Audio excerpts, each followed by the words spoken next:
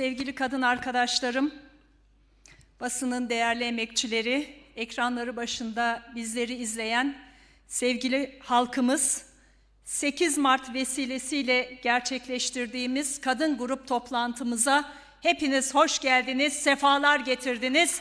Hepinizi saygıyla, sevgiyle selamlıyorum.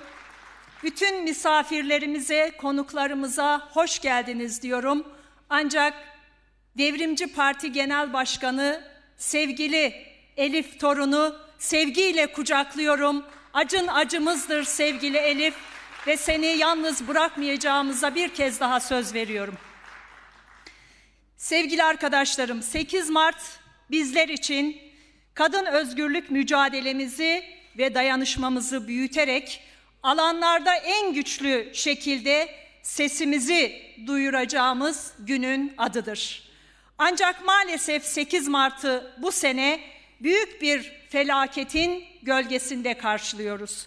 Bir kez daha sizlerin huzurunda deprem felaketinde kaybettiğimiz tüm canlarımızı saygıyla, rahmetle anıyorum. Yakınlarına, sevdiklerine bir kez daha başsağlığı dileklerimi iletiyorum ve yaralı olan, tedavi gören bütün depremzedelere bir kez daha acil şifalar diliyorum. Bu depremden zarar gören tüm halkımıza bir kez daha geçmiş olsun dileklerimi iletiyorum. Yine aynı depremden ağır şekilde etkilenen ve ambargoya maruz bırakılan Suriye halklarının da acısını yürekten paylaşıyor ve buradan bir kez daha dayanışma duygularımızı kendilerine iletiyorum. Evet bir yandan bu acılar yaşanırken sevgili kadınlar hafta sonu Ahmet Spor Bursa Spor maçında örgütlü faşist bir saldırıya ülkece tanık olduk. Sahada ırkçı gruplar tarafından türbünlerde sergilenen resimler bu saldırının arkasında kimlerin olduğunu bizlere bir kez daha çok net olarak göstermiştir. Ben buradan Ahmet Spor oyuncularına, yönetimine, taraftarlarına geçmiş olsun dileklerimi iletiyorum. Ahmet Spor yalnız değildir diyorum. Hükümetin küçük ortağı bu salonda bu kürsüde biraz önce yaptığı konuşmada ırkçı saldırılara 90'lı 90'ların karanlık çetelerine bir kez daha açıkça sahip çıktı sevgili kadınlar. Ahmet yok dedi, Ahmet Spor yok dedi. Ben de buradan bir kez daha diyorum ki Ahmet vardır, var olmaya devam edecektir. Ahmet Spor vardır, var olmaya devam edecektir.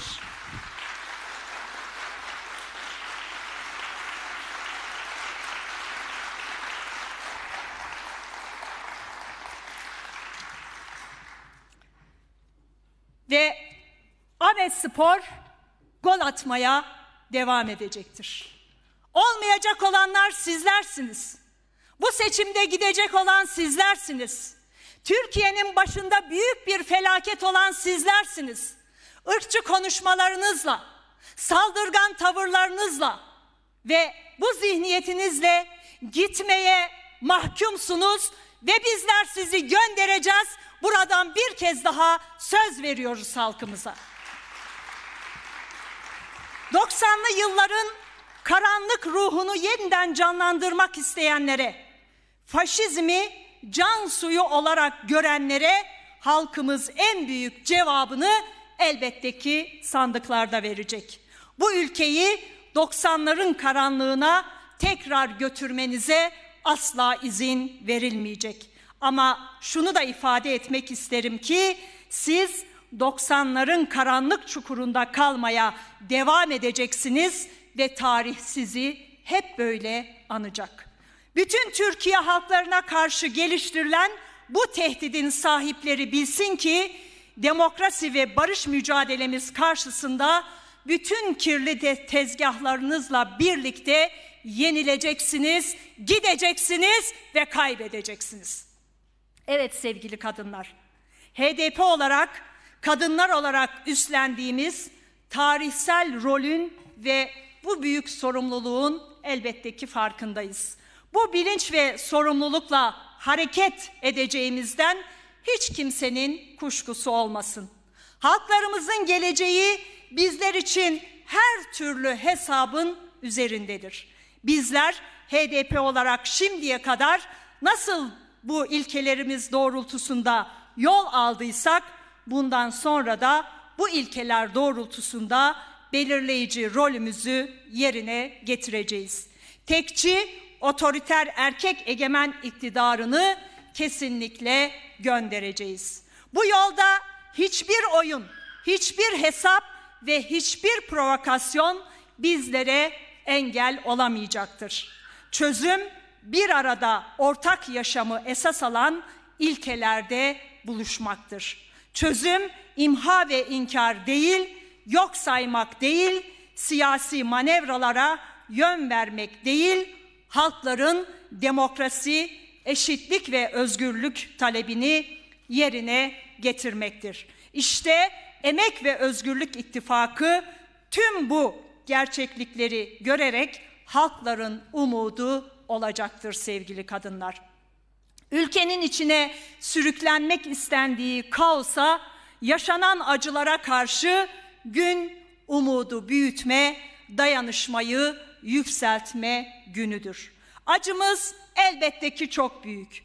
Öfkemiz diri, yasımız derin ve bunun elbette ki farkındayız sevgili kadınlar. Tüm bunların yanında direnişimiz de büyük, dayanışmamız da.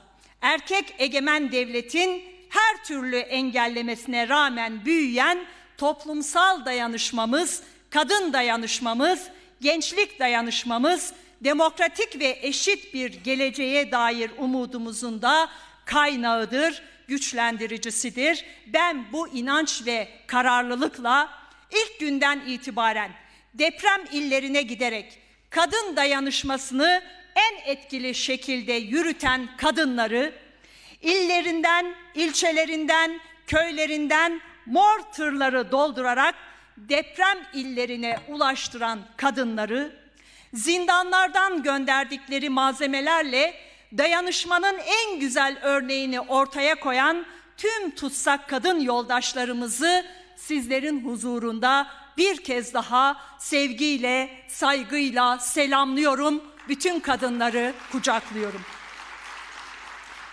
Evet sevgili kadınlar, yarın 8 Mart. Bizler bu 8 Mart'ta depremi felakete dönüştüren tek adam rejimine karşı erkek egemen sisteme ve kadına yönelik şiddete karşı yalnız değil birlikteyiz. Jen Jiyan Azadi diyerek en güçlü şekilde alanlarda olacağımızı bir kez daha belirtmek istiyorum.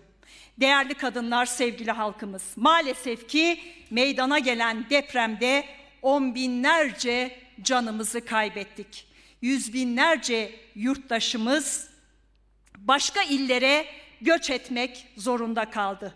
Enkaz altından kurtarın diyen seslere ilk üç gün gönüllüler, sivil toplum örgütleri, kadınlar, gençler ve muhalif siyasi partiler dışında ne yazık ki ses veren olmadı ve devlet yoktu diyenler özellikle orada enkaz altındaki yakınlarını çıkartmak isteyen insanların sesiydi.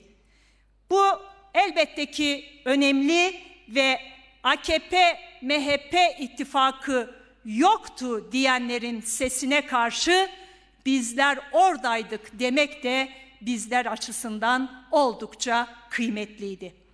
Evet, devlet yoktu. AKP, MHP ittifakı yoktu.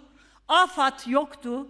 Kızılay yoktu ve bütün bu depremzedelerin seslerine kulaklar tıkalıydı, gözler kapalıydı sevgili arkadaşlarım. İnsanlar kendi imkanlarıyla enkaz altındaki yakınlarını çıkarmaya çalıştı. Bunu gözlerimizle gördük. Adıyaman'da gördük, Maraş'ta gördük, Antep'te gördük, Hatay'da buna tanık olduk. ve enkaz altında sağ kalanlar ne yazık ki soğuktan donarak yaşamlarını yitirdiler. Depremin öldürmediği yurttaşı hükümetin enkaza dönüştürdüğü kurumların yokluğu öldürdü. İşte bu yaşananların en büyük sorumlusu bu iktidardır. Halkı kendi kaderine terk eden bu iktidardır. Halka çadır, gıda yardımında bulunmak yerine çadırları satan Kızılay'dır. AFAD görevlilerini elleri kolları boş şekilde neredeyse üçüncü günden sonra deprem illerine gönderen bu iktidardır. Evet, kendileri itiraf ettiler, helallik istediler. Buradan bir kez daha söylüyorum. Bu suçun vebalini kaldıramayacaksınız. Bu halk size hakkını helal etmiyor, etmeyecek. İnsanlar kaybettikleri yakınlarının cenazesini bile şu an bulamıyorlar. Cenazeler enkazlarla birlikte kaldırılıyor. Çadır bulan soba bulamıyor, soba bulan yakacak bulamıyor, su bulamıyor, gıda bulamıyor. Üzerinden bir ay geçmesine rağmen bu sorunlar halka en can yakıcı şekilde hala devam ettiriliyor ve hissettiriliyor. Evet, gereklilik helallik istemek değil, sürekli ifade ettik, bir kez daha söylüyoruz, istifa etmektir. İstifa etmek bir erdemliliktir. Ama bu erdemliliği gösterecek tek bir yetkilinin olmadığını da biliyoruz ve görüyoruz. Üzerinden bir ay geçmesine rağmen bir tek kişinin bile istifa etmemiz, etmemesi bir utanç tablosudur bu yaşananlar karşısında. Halkın emeğinden çalanlara, kadınların yaşamından çalanlara, gençlerin, çocukların geleceğinden çalanlara hakkımızı helal etmiyoruz, etmeyeceğiz. Geri alacağız. Canımızdan, alın terimizden, ömrümüzden sömürdüğünüz her şey boğazınızda dursun diyoruz. Evet size hakkımızı helal etmiyoruz. Yediğiniz her lokmamızı, gasp ettiğiniz her hakkımızı, sebep olduğunuz her canımızı hatırda tutuyoruz. Çürümüş politikalarınız, rant siyasetiniz sebebiyle toprağa verdiğimiz her canın hesabını hatırımızda tutuyoruz. Hesabını adalet önünde, tarih huzurunda mutlaka ama mutlaka soracağız. Evet sevgili arkadaşlarım, biliyoruz ki kadınlar depremin ilk gününden beri hem yaşam mücadelesi hem de erkek egemen zihniyetine karşı varoluş mücadelesi vermek zorunda kaldı. Kadınlar bu dönemde de ayrımcılık, ötekileştirme ve şiddetin her türlüsüyle karşı karşıya kaldı. Hem deprem alanında, depremlerin yaşandığı yerlerde hem de göç etmek zorunda kaldığı kentlerde. Maalesef deprem bölgesinde engelli kadınlar ve mülteci kadınlarda ayrımcılığın bambaşka bir boyutuyla yüzleşmek zorunda kaldılar. Mülteci kadınlar dil engelini aşamadığı için çoğu zaman dertlerini anlatamadılar. Engelli kadınlar ve engelli bakım üstlenen kadınlar için bu devlet, bu iktidar hiçbir zaman kolaylaştırıcı olmadı. Bugün depremin meydana geldiği yerlerde engelli kadınlar güvenli bir barınma alanına temel hijyen ihtiyaçlarını karşılamak için özel bir alana herkesten daha çok ihtiyaç duymaktadır. Fakat herkesten daha fazla da mahrum bırakılmaktadır. Birçok kadın depremden sonra yaralanarak engelli kaldı. Gerekli medikal malzemelere ve ilaçlara ne yazık ki ulaşamadı. Bu sorunların giderilmesine dair hiçbir acil tedbir alınmamıştır ve destek sağlanmamıştır. Yine hayatını her alanında ayrımcılığa uğrayan iktidarın hedefindeki LGBTİ bireyler depremde de aynı ayrımcılığa ve eşitsizliğe maruz kalmıştır. Nefret politikalarının bir sonucu olarak temel ihtiyaçlara dahi erişememiştir çoğu zaman kendi aralarındaki dayanışma ile ihtiyaçlarını temin etmişlerdir. Sevgili arkadaşlar, kadınların deprem bölgelerinde hala barınma, su, gıda, giyim ihtiyacı olduğunu biliyoruz ve gittiğimiz yerlerde bunu bir kez daha gördük. Ancak bunun dışındaki özgün ihtiyaçlarının da olduğunu ve bunu gözetmemiz gerektiğini biliyoruz. Bizler kadınlara ulaştırmak üzere hazırladığımız mor kitlerimizle kadınların özgün ihtiyaçlarını karşılamaya çalıştık ve karşılamaya da elbette ki devam edeceğiz. Bu hükümet ülkenin ve kadınların başına gelmiş en büyük afettir ve en büyük felakettir sevgili arkadaşlarım.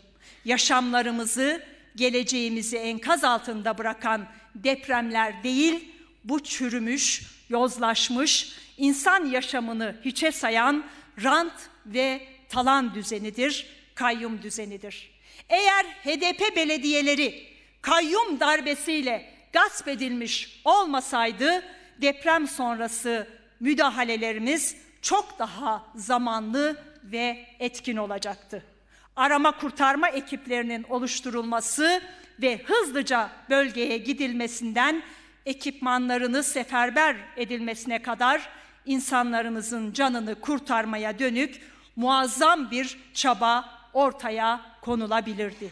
Yine belediyelerimiz gaspçı kayyumların elinde değil de halkın hizmetinde olsaydı temel ihtiyaçların karşılanmasında da bu kadar sıkıntı ve bu kadar büyük mağduriyet yaşanmayacaktı.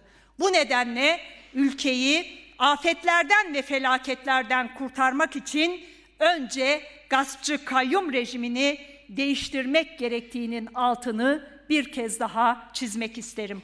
Bunu da kesinlikle başaracağız. Biz kadınlar başaracağız ve onları göndereceğiz. Buradan bir kez daha söz veriyoruz sevgili kadınlar.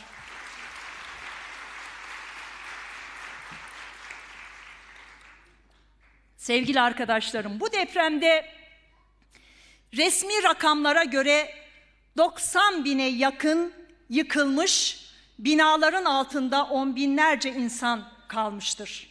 AFAD'ın toplam personel sayısı ise 6 bin bile değildir.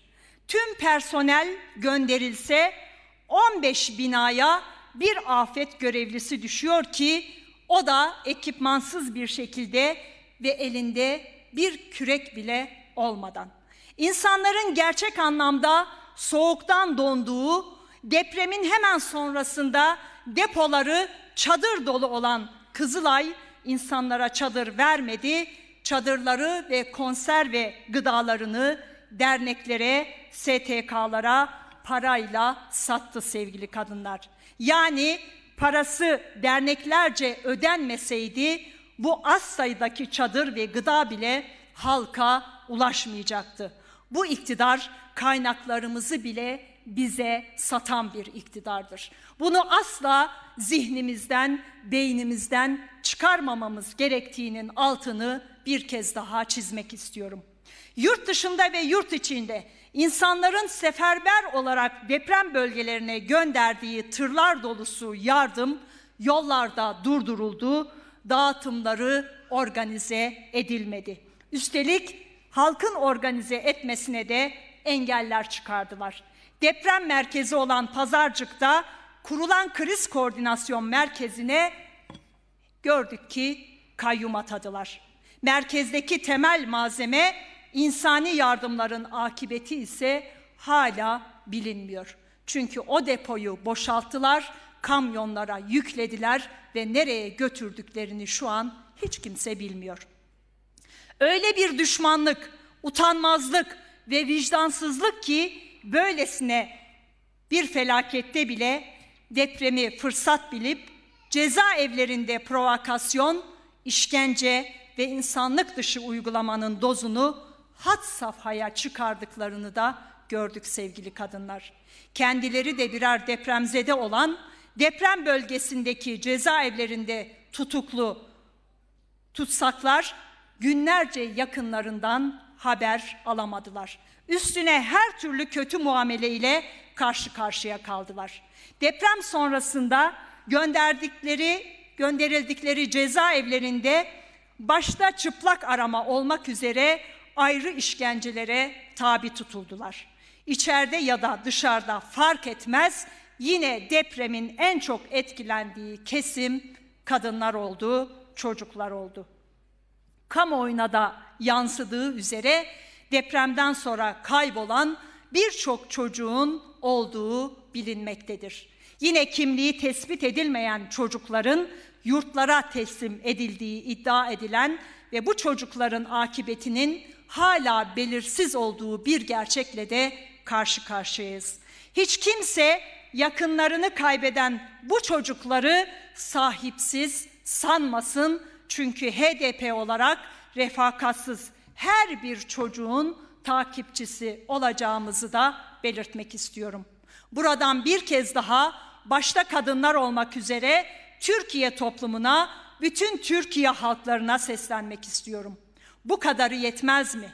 Bu çürümüş sistem, bu yozlaşmış rant ve talan düzeni bizi daha ne kadar sömürecek? Bizleri daha ne kadar sel sularında, yangınlarda, pandemide, maden göçüklerinde, iş cinayetlerinde, kadın cinayetlerinde, depremlerde, en ufak doğa olaylarında öldürecek. On binlercemizin ölmesi, enkaz altında kalmış olması bunların umurunda değil. İnsanca bir yaşamı değil, korkunç biçimde ölmeyi kaderimiz olarak gören bu ceberrut zihniyetin bu topraklarda artık yeri kalmamıştır.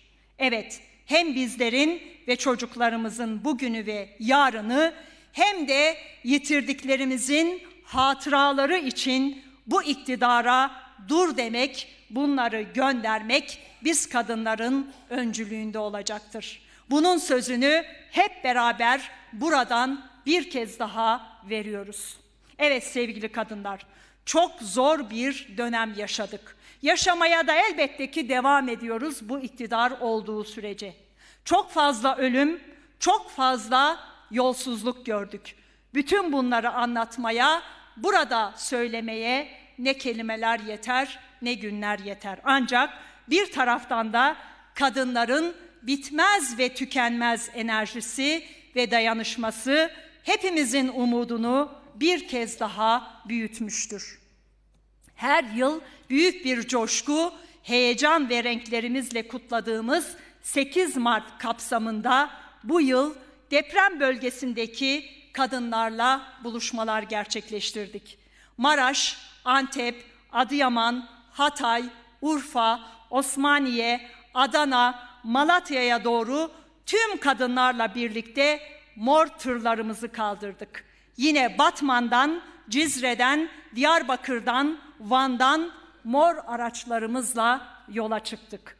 Mor ihtiyaç listeleri elden ele dolaştı ve kadın örgütlerinden birey kadınlara herkes elinden geleni fazlasıyla yaparak bu dayanışma zincirinin olmazsa olmaz bir halkasına dönüştü. Evet sevgili kadın arkadaşlarım maalesef yaşadığımız yıkım çok büyük ve iktidarın sorumluluklarını üstlenmemesi de durumu daha da kötü bir hale getirdi. Bu yüzden deprem bölgesindeki yaraların iyileşmesinin öyle kolay olmayacağının hepimiz farkındayız. Ancak biliyoruz ki yasımız büyükse dayanışmamız çok daha büyüktür, irademiz çok daha büyük olacaktır.